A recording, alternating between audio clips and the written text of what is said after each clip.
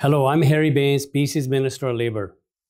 Our government is focused on keeping people healthy and safe as we work together to address the impact of COVID 19. I know it's been challenging for essential workers, employers, and all who have continued doing their jobs throughout the pandemic, and for many others who are reopening.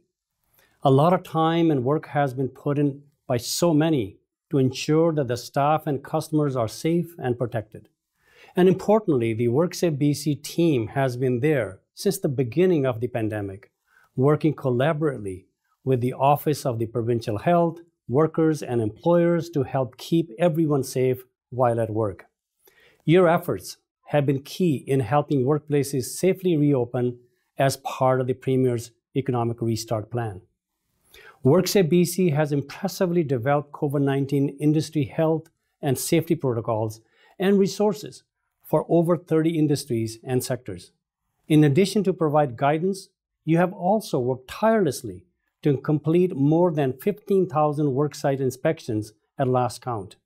When WorkSafe BC does these inspections, we know it is because you genuinely want to help keep workers safe and help employers to open workplaces safely.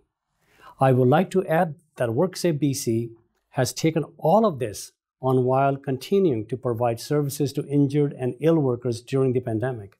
So big thank you to the whole team at WorkSafe BC for your diligence, your caring, your incredible work.